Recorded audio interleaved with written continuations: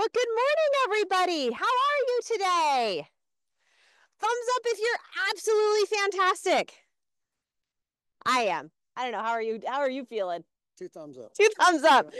That's great. My name is Ali Depew. I'm with Inspired Classroom, and this is Craig Jourdonnais. He is the big game researcher and also hunter extraordinaire, um, and sort of facilitator here at MPG Ranch. How are you doing, Craig? Good. How are you? Awesome. I am doing so good. We are here to talk to you about elk, and I believe elk is a big game animal. Correct. It is. So what we're gonna do is do just as we're getting started and his friends are moving in, um, I'm gonna have Craig tell us a little bit about MPG Ranch, um, and then we're gonna jump into talking about elk, uh, the natural history. We're gonna talk a little bit about his research. He brought some pretty cool things to show and to share with us. So we'll talk a lot about what his research is and what he does.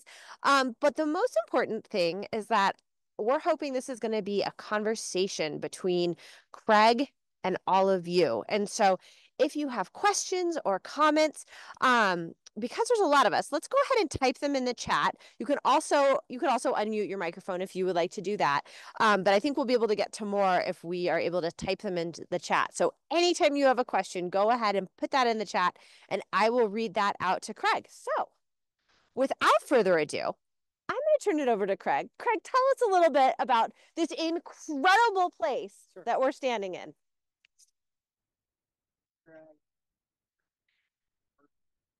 Part of the Bitterroot Valley, which is just south of Missoula, Montana. So the Sapphire Mountains are to my left and the Bitterroot Mountains are to my right. And this ranch is about sixteen thousand acres and it used to be a traditional cattle uh, ranch. They, they grew wheat here. Uh, the family was a traditional ranching family and then they sold it about two thousand nine. And the owner of the ranch today uh, actually converted this ranch into what we call a conservation ranch. So they removed the livestock.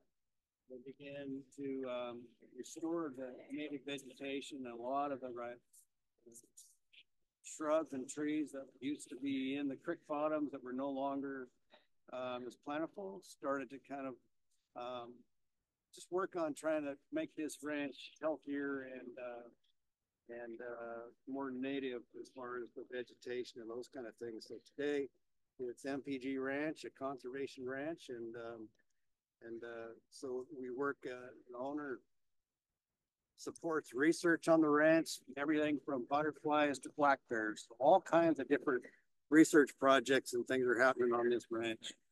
So it's really a active, um, really a cool place to work. Oh, that's awesome. Okay, so I'm curious. Um, how many of you have well have have has anybody ever seen an elk? You can show me with like a thumbs up or a thumbs down. Oh, I'm seeing lots and lots of thumbs up. I'm seeing some thumbs down. Has anybody ever seen a has anybody seen a picture of an elk? Do we know what an elk looks like?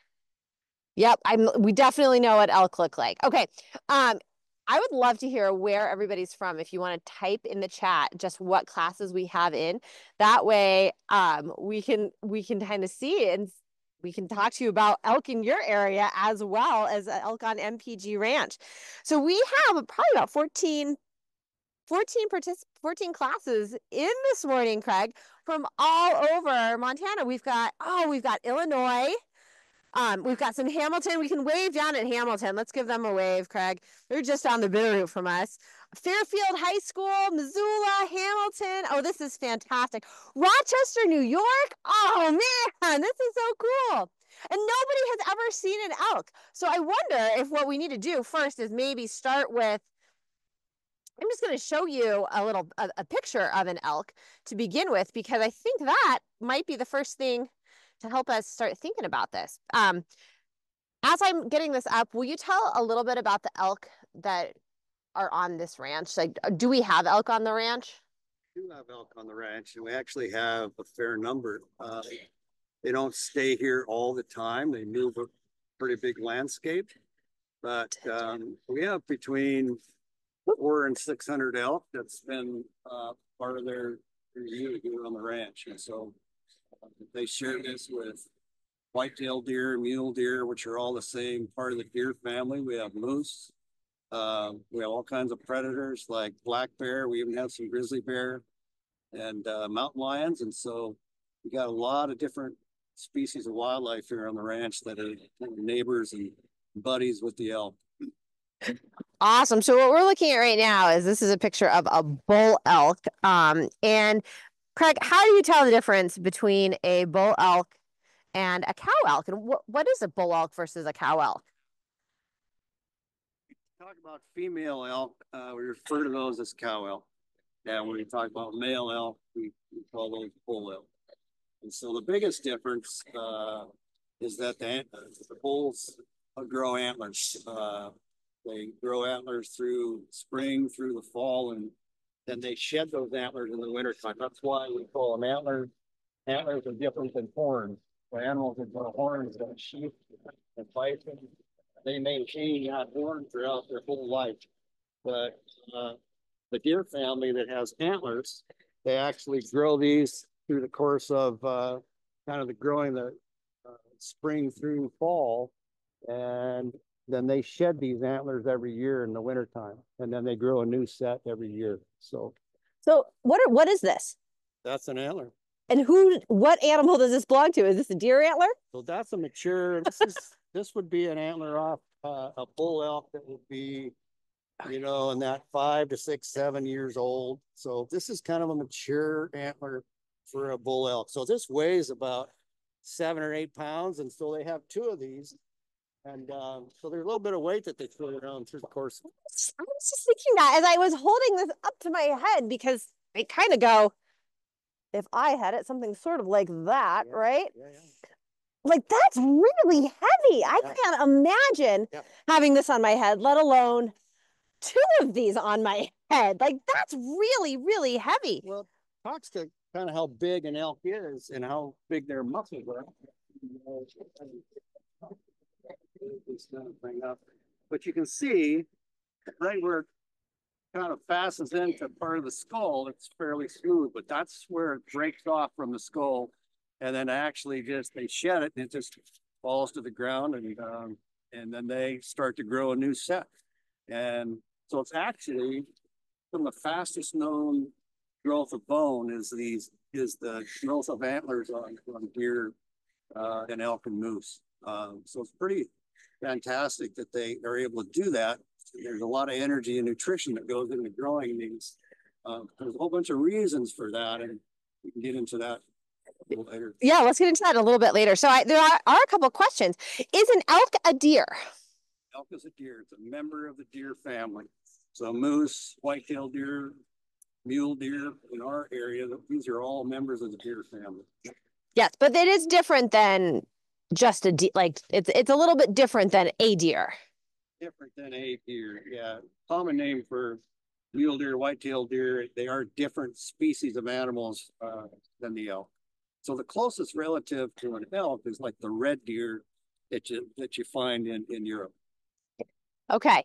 Okay, that's great. So how old can an elk get? Like how how what's the lifespan of an elk? An elk can actually get old enough to vote. Funny because come. But uh, Do they get mail-in ballots or do they have to go to the polling place? Got it. it's a little bit different with bull elk versus cow elk because bull elk end up they're really active and aggressive during the rut. And so their lifespan is probably a little shorter than a cow elk typically if they were just able to live naturally to the end of their life cycles. So a bull elk, an old bull elk would be 12, 14 years old. That would be a pretty old bull elk. But we have cow elk that we know of that have lived past 20 years. Oh wow. So what's cool about that is cow elk are actually, they remain fertile throughout the course of their life. And so they can actually produce a calf through uh, their entire lifetime. That's great. So you you you talked about something that I want to get back to in a little bit, but hold on to the thought about the rut because that's something that I think a lot of people have heard of and maybe we need to clarify just a little bit. Um so how strong are elk? Like I mean we just I think part of it is we just learned that that antler weighs about eight pounds. So two of those are about 16 pounds. I mean, that you have to be pretty strong to carry that around and then be able to run with it. So how do you measure the strength of an animal? Great question. I think the well, bull elk, a mature bull elk can weigh in the neighborhood of 800 pounds. Wow. Cow elk is probably more around that 600 pound range. So they're just, they're big and they have big muscles and they, you can look at the country that they have to move around in. And so that gives you an indication too of having that large of a body and having to be able to carry that through all these mountains. And, uh, and so, you know, the fact that they carry some pretty large antlers gives you an indication too that there's some strength there. But when you watch them, and we'll, again, we'll talk about the rut, but when you see them fighting and pushing each other around, you can tell there's a lot of strength behind uh, behind that weight, uh, that body weight. Okay, so we have some antler questions. I think we'll, we'll we'll stay on the antler the antler antler track here for a few minutes. So, um, when do they shed their antlers?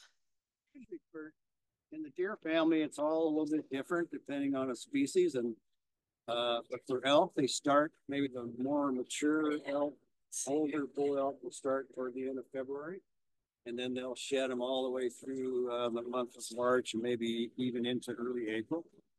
And um, and shortly after they shed, uh, you can start to see the new growth uh, begin on, on, a lot of those antlers. And so they time it about the time you start to see some new green growth going. Uh, so it's all this is sort of related to nutrition and how well they're able to access um, the green forage that's that's has the highest nutrition for Oh, interesting. Interesting. So you don't want to be growing growing your antlers in the middle of winter when when you're really struggling to find find food to eat. Grow as large an antler as you can because that is really helpful for all kinds of different things uh, in your life if you're a bull elk. And so uh, you want to try to grow those antlers when you're getting good nutrition out of the forage that's available. So, um, so there's not, it's not a coincidence that, you know, they're growing these antlers at a time when they have good nutrition. Oh, that's great. Well, what, okay. We're going to, we're going to come back to antlers, but what do elk eat? Cause that's a question that I've seen a couple times in the chat.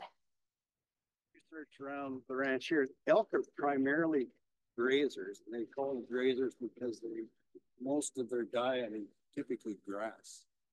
And so uh, they'll eat forbs like little flowering plants too. And, and when in different areas, they'll, they'll turn to shrubs as well.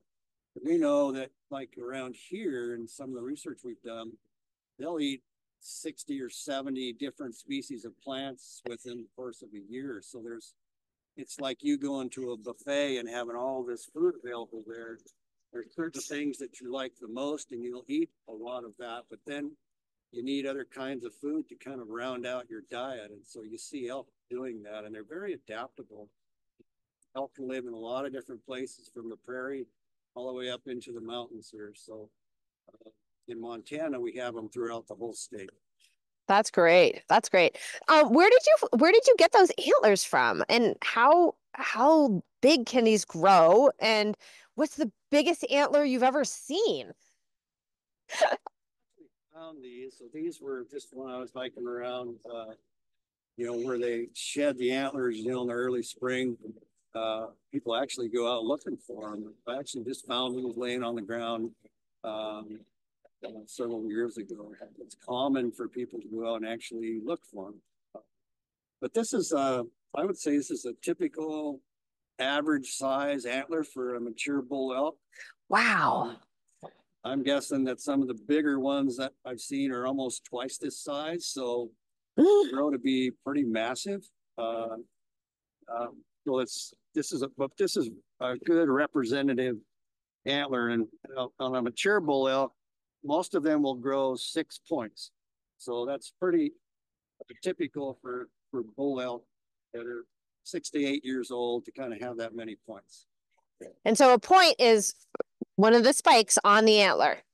These are all tines. Uh, we just call them a six point bull. That would be kind of what this would be on both sides. And usually they're pretty symmetrical, meaning both sides tend to look pretty close to the same, but you can also get some really abnormal growth with antlers that are pretty goofy.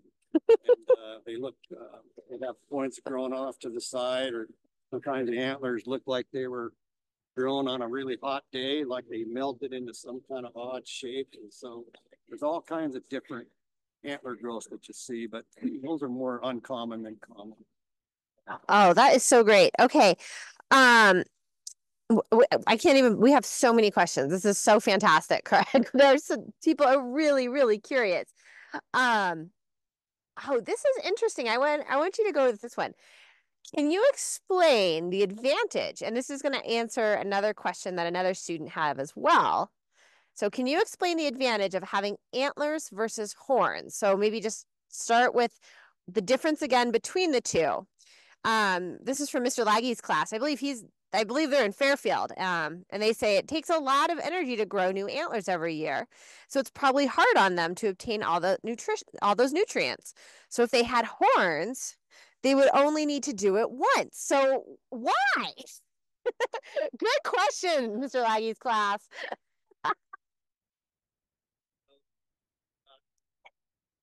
Expert in animal behavior and those kind of things. But one of the things we know about elk, for example, is that um, the bigger their antlers, the more successful they are in the whole breeding season thing. And so, and plus there's a hierarchy within the deer family that the larger antlers you have, typically the more dominant, the more aggressive, um, you're, you're, you're higher up in the hierarchy compared to other bulls. And so that's kind of a big deal when you're in the deer family. And uh, that makes life a little easier for you. So the idea that they grow antlers versus horns is, is really an interesting one because um, I think they communicate a lot different than animals with horns. And so antlers tend to, um,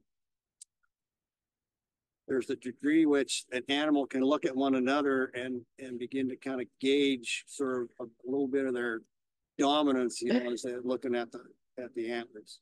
Why they grow antlers versus horns is just a great question. And I think from an evolution standpoint, um, those animals that grow horns probably don't have to have near as much energy put into that horn growth as, as animals that have antlers. And so that energy goes into some other things. But uh, that's a good question. And I don't totally have a wonderful answer for you with that. It kind of makes, it's one of the things to me that makes wildlife so interesting to study because they're all so very different. That's awesome. So how aggressive can they be with these antlers? Maybe we talk a little bit about what these antlers are used for. um, so they can be super aggressive. I think what we find is, is kind of true with people too when you think about two people that are maybe in an argument or they're kind of uh, have conflict with one another is there's ways that they communicate and posture themselves to kind of prevent a full-blown fight because you don't really want to get into a full-blown fight because you have a chance of being injured. And in some cases uh, we've had that documented here on the ranch they can actually um, uh, kill each other. And so um, you don't want to resort to that every time you have a conflict and so um, there's ways that they communicate and do body posturing when they get into those kind of aggressive things that oftentimes one will back off, but when they don't, they can't actually get into fights. And fights are really different than sparring because you'll see bull elk, they sort of practice fighting like a boxer's in a ring where they get into the ring to practice with one another called sparring. It's not really serious. They're just kind of going through the motions. They might lock antlers with each other, push each other around a little bit, but it's not really aggressive. But fights become really aggressive and you can become actually pretty violent. And what happens is if a, if an opposing bull elk makes a mistake or moves in a way that the other bull doesn't get them onto the ground, uh, knock them off their feet, uh, oftentimes that bull elk that's um, that's standing above the other one will actually try to injure it and in some cases kill the other bull. So it can be pretty serious. And it can be kind of jaw droppingly violent too when you watch it. Okay, we have some we have some um logistical questions here. How do they sleep with those antlers and how do they not get tangled up when they're walking through the forest with those antlers?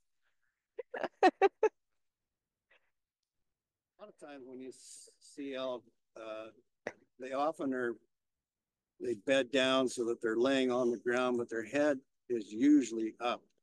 Unless they're super tired, and then sometimes you'll see them just lay their head down, you know, with their chin down on the ground.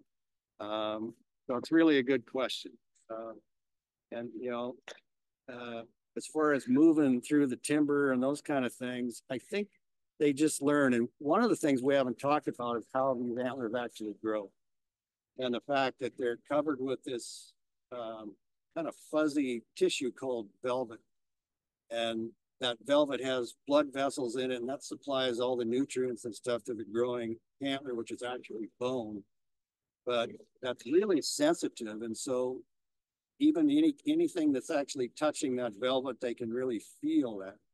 And so you learn how to kind of navigate through the trees, just like if you had antlers on you every day and you had to get to school and do all the things you did with an antler on your head, you'd learn over time kind of what you could do and what you couldn't do. And so they, they just kind of figure that stuff out. And a lot of time what you'll see is they put their, when they do move through the trees, they'll put their nose up. So their antlers kind of sweep back behind them like that. And they're able to kind of to manage getting through the timber that way. And they'll put them side to side as they move through the trees. It's pretty interesting to watch. Okay, so here's a couple questions that are follow-ups on that. Um, so they wanted to know if there was blood supply to the antlers, and it is, and it's it sounds like it's almost on the is it on the outside or it's on the outside? Okay, and how how so one of the questions was how are there blood cells in the antlers? And so maybe talk a little bit just about how that growth, how that like what what's happening there? So so there, that velvet is actually, um, supplying the growth of this is actually bone. It's just if you, if I knock on it, it would be just like a leg bone or something like that. And so that's, that's carrying all the nutrients into the antler. The antler's kind of soft at that point. It's not firm. And so what happens is it begins to grow out the top of the head, but this is the first part of the antler that actually starts to develop. And as it grows, then it begins to grow these other tines. So this is actually the last part of the antler that actually, um, this is the newer growth of the antler versus down here. And then that velvet will, about middle of August, it starts to dry up and it gets um, just like skin getting really dry and begins to peel off the antler. And what they do then, these bulls are kind of starting to be the early part of the rut. They get a little bit aggressive. And so then they start to rub these antlers on trees and shrubs and things. And Like this? yes, Allie, that's exactly it. This is actually a tree that I just I cut off because it's a great example of of what a bull elk does to a tree when they start rubbing it on on antlers and shrubs. And so most of that bark is missing. So Bring this up close. it is actually this color, it's white kind of chalky color at the tip of the antler like that. That's the actual color of the antler as it sheds its velvet. But when it starts to rub on trees, bark and shrubs, and that's what gets this brown color to the antler. And so it's really kind of a process. And um, again, it's a fascinating, fascinating thing that they put a lot of energy into. Oh, that is so great. Okay. I, I'm gonna do we're gonna do a rapid fire session. Are you ready? How fast can an elk run? Close to 25, 30 miles an hour on a dead sprint. Dead sprint. That's a guess. Yeah. How tall do they get? Boy. An elk, uh, I bet an a elk, if it was standing next to me, the withers, so the top of the shoulders would probably be right about here on me. All right. Yeah. It's about five, five, four and a half to five. Yeah, five might be a little much, but Okay. four and a half for sure. What month do they give birth? great question. And in this part of Montana, in the Bitter Valley, we know that the peak of, of birth time is about June first. June first. Okay. Weigh about, so if you're a newborn calf, elk calf, you weigh about 35, 40 pounds. How, wow, that's a large, that's a big baby. how many, how many calves are born at once? Uh, elk typically will have a single calf. Okay. They occasionally can have twins, but that's pretty uncommon. But for other members of the deer family, like white-tailed deer can, you know, twins are really common. Yeah. Moose on good, really good habitat, twins are pretty common. But elk typically will have one calf. One calf. Do they dig with their antlers? I, you, you don't see them dig with their antlers, but part of this coloration and why these tips end up being white instead of brown is that a lot of times, again, bulls during the rut, they'll get really agitated and they'll they'll put their antlers down into the ground and kind of, you know, just kind of an aggressive kind of thing and, and, and get their tines down into the dirt and and move them around. But they typically don't use their antlers to dig for any To dig? other reason. I have a question. Do they use it to move snow? They don't. I've never really seen them use their antlers for snow for dig. Yeah. Usually, or their Paw. they paw, Okay. and so they'll. You see a lot of times, when the snow's a little deeper, they'll actually paw down to areas where they can feed. Okay. How far can they travel in a day? They can move. Tens of miles, I would say, really easy. Um, we we've actually had from some of the research elk that have worn these radio collars, and so we can follow where they go. Uh, but some elk migrate um, dozens and dozens of miles from where they spend the winter to where they calve and spend the summer. Yep. So they can move if they if they want to move, they can move. And ten miles, fifteen miles in a day, twenty miles in a day would not be unusual. They got four legs and they can really they can cover ground. I love it. Okay, we've got a question about the ranch and elk. Um, it seems like our the ranch like we're in a very wide open area. So, how much habitat do we have on the ranch, and how many elk are there? Um, are there any nearby us now?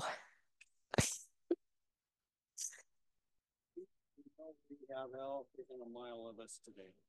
Uh, we were actually kind of looking when we were setting up for class today, and I didn't see any elk, but it wouldn't be unusual at all. But this is still kind of the tail end of the rut, and they make bull elk have a call that we call a bugle, and we could probably hear it from where we're at with where the elk are at today. Um, but we have so in the winter time, elk tend to kind of move and concentrate more because they have less ground they can access because of deep snow. So we'll have four to six hundred elk on the ranch. Um. Up here too. And This time of year, don't really have snow and there's still a lot of forage they can access. They, they range pretty wide. And so, uh, we don't have that many elk on us today. Uh, they can be spread all over this landscape, but we have elk that actually live in the river bottom down below us most all year. We have other elk that migrate. They'll move all the way back to the higher mountains and ridges in the summertime. So they're pretty adaptable and, um, elk have different strategies for trying to make a living. And so some migrate, some don't. And the ranch itself is about 1,600, 16,000, not 100, 16,000, excuse me, 16,000 acres. So there's a lot of room to roam. Um, how many, wow, how many pounds of food do they need to eat each day? You know a lot about elk and their diet and, um, the way that I would say this is, so if you took the forage that they consumed in a day and you dried it, which is sort of a way of standardizing the weight because all plants have different amounts of water and so they all weigh a little different, but they've taken the amount of forage that an elk eats in a day and then dried it out. And we get about twelve to thirteen pounds of air dried Wow. so uh, an animal that weighs six to eight hundred pounds. If you think about a horse, yeah, um, you know, you probably, if people are feeding hay to horses, you're thinking about 20, 25 pounds a day, I think. And So elk are kind of that twelve to thirteen pounds a day. Mm-hmm. Have you ever done any research on predators and which spec- uh, with uh specific to elk um and which elk they target? So in other words, are big antlers a good deterrent to predatory attacks? One of the things that, yeah, um, Ellie, you call me back into this because I'll, Okay, I think you, this is an area you really enjoy talking about. there's been a lot of research done on predation. I've actually been involved in some of that in the Bitterroot. Um, I'll talk about that first and then kind of how antlers might play into that, but. So we know that, uh, so we radio tag about over the course of four or five years, two hundred and fifty elk calves with little radio tags in their ear. And what we wanted to do is see when that elk stopped moving, uh, what was, what was killing that cow, that, that calf elk. And so in the Bitterroot, uh, the primary source of, uh, mortality on elk calves was mountain lions. Mhm. And black bears prey on, on newborn calves. Uh, wolves prey on calves, but they usually tend to wait until they get bigger into the winter time before they pursue them. And so there's all these different predators that kind of act on elk calves and, and are certainly predators of them. And so here, of all the elk calves that are born in the spring, about half of them are, um, suffer mortality usually to predation and maybe some other things like natural causes. They try to cross a river in the spring when the water's really high and they don't make it. Those kind of natural things. And so about you can expect about half of those calves uh, in this part of the world that are born in the spring to not make it to their to their first winter. So and then wintertime is another time when mortality uh, predation on elk calves is pretty tough. But once they make it through that first year, their survival goes up pretty substantially. And so the predation and all those kind of things um, aren't near as impactful when they get to be older and adults. Um, probably some pretty good debate and discussion about how antlers play into that. Are they actually weapons that bulls use to fend off predators? And a lot of what we see when we watch wolves and other animals try to take elk down is that they don't really tend to use those antlers until right, you know, if they're really cornered and it's kind of the last of the of the chase, they may put their head down and try to use antlers a little bit as a weapon, but they don't seem to be a huge uh, deterrent uh, as far as predation uh, with lions and wolves and that kind of thing. Um, yeah. That's great. Um, okay, are babies born with antlers? Babies are not born with antlers. They go, um, in fact, um, Allie, there's a little progression of antler growth there if we want to talk about that. Oh yeah, this little guy. Okay, let's grab these guys. Thank you. Sure. A calf, male calf is born without antlers. So, so your first entire year without antlers, and then it's when it's about a year old, it begins to grow its first set of antlers, and usually, uh, this is all they grow the first year. So kind of a spike. We call that just a spike. It's a yearling bull. Then the second, when they're about two years old, they begin to grow their second set of antlers. This is about the size of a typical two-year-old, two and a half year old bull. So you can go see they go from that to this, and then in a couple of years after that, when they grow more into something that looks like it. So, um, they continue to get longer tines and heavier antlers until they're in that six to eight, ten year old, and then they start to actually regress. So as they get older, um, their tines begin to shorten up and the amount that each antler weighs tends to kind of drop as they get older. Yeah. Part of that is because as they age, their teeth wear. And as their teeth wear, they can't process forage uh, as efficiently as they could when the, you know, the points and the ridges of the teeth were sharp. You mean it's hard to chew? It gets hard to chew and they don't make dentures for elk. Oh man. I know. so they begin to wear and get pretty smooth. And the animal begins to kind of start to go downhill because they can't uh, maintain that nutritional level that doing with the better, more efficient teeth.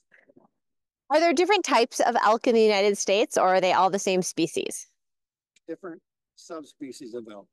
so you have the Tule or Tule elk in California. You have the Roosevelt Belt elk that's kind of on the Pacific coast, uh, Oregon, Washington. And we have the Rocky Mountain elk here in Montana.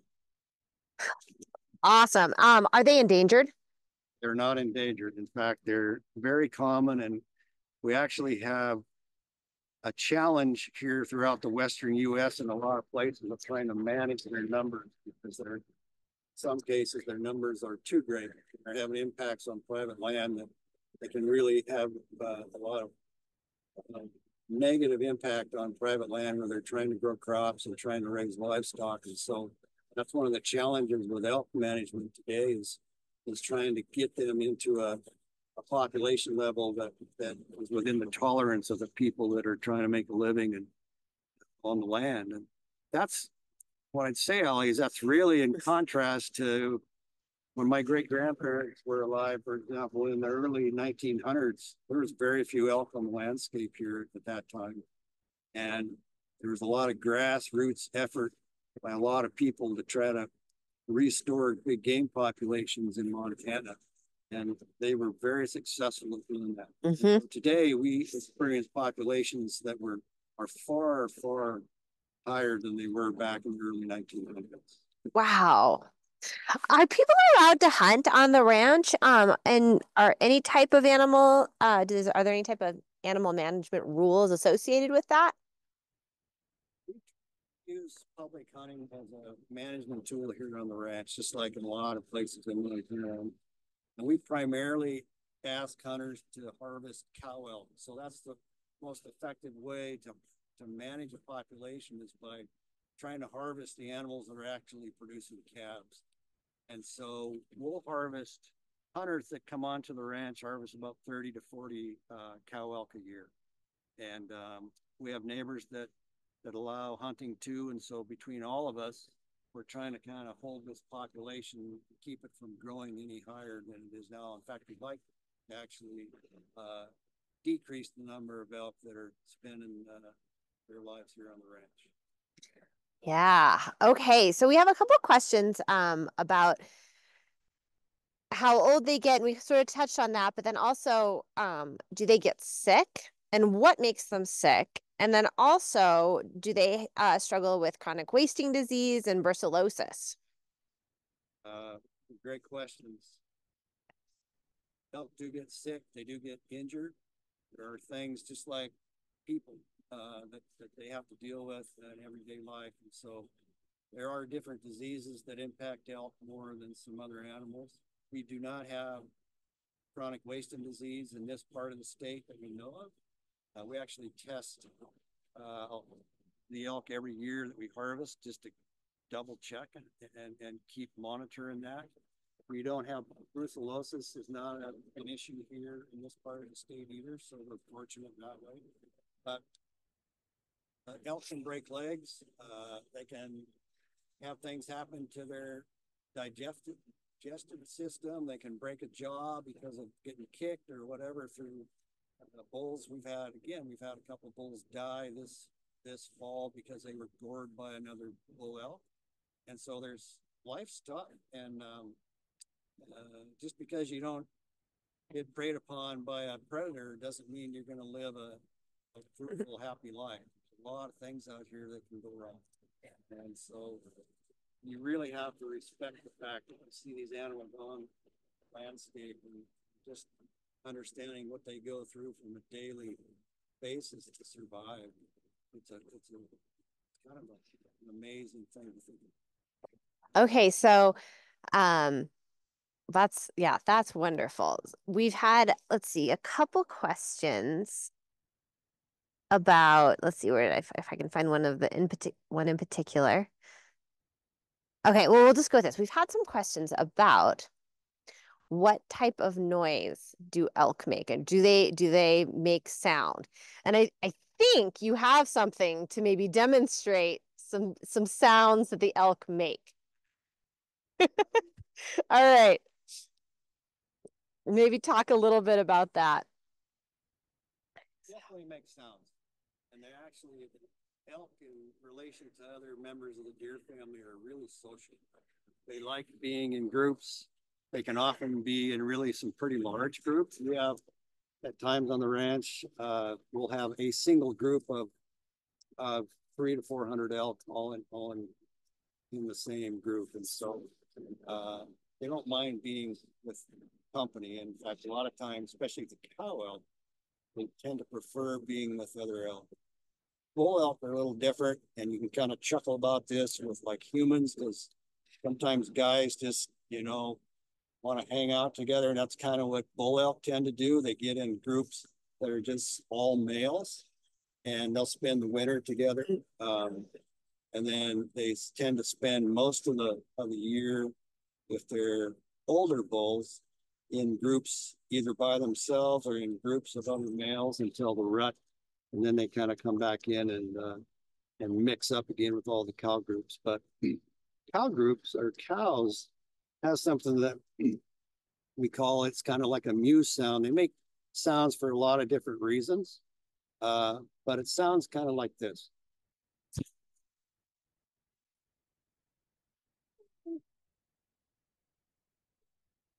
So that's sort of a way that they communicate to one another. Um, they also have a sound that's an alarm sound. It's almost like a bark, like a dog, and they'll so when they're disturbed or they're alerted some way, they'll make this shrill bark, and uh, that gets everybody else's attention that something's up. So yeah, they definitely do talk. Um, bull elk, on the other hand, they'll they can mew and they can do those kind of things, but during the rut, they start to have this thing called a bugle, and in a lot of cases, it's sort of a challenge to the other bulls, and um, so it's one way to actually attract elk when you're hunting them during the rut, is you can imitate what a cow elk and a bull elk sound like with these calls, but uh, uh, elk bugle might sound something like this.